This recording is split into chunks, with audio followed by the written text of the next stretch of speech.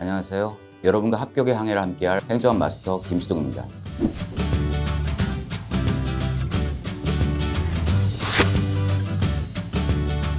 마스트는 배의 돛을 의미합니다.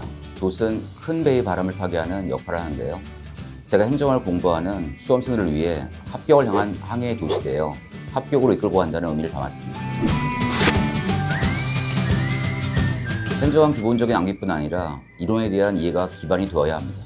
제 강의 마스터 행정학은 이론을 2단계로 체계화하여 정치, 경제, 사회 등 현실 사례와 행정학 이론적 접목을 통해 이해하기 쉽고 출제 유형에 맞춰 강의를 진행합니다. 제 교재의 목차를 확인하게 되면 행정학 논리의 흐름에 따라 구성되어 있다는 것을 확인할 수 있습니다. 그래서 문제를 풀면서 그 문제들이 교재의 어느 부분에 있는지 한 번에 찾을 수 있게 될 것입니다. 내용만 적어놓은 교재가 아닌 흐름으로 공부할 수 있기에 자연스러운 공부를 경험할 수 있습니다. 행정학은 이론의 난해함과 방대함으로 쉽게 고득점을 받을 수 있는 과목이 아닌 것은 맞습니다. 하지만 논리 흐름에 맞게 공부한다면 그리 어려울 것도 아닙니다. 30년간 공부해온 행정학 시험의 모든 것을 전수해 드리겠습니다. 행정 마스터인 저의 교재와 강의를 통해 행정 흐름을 타고 함께 합격까지 가봅시다. 파이팅!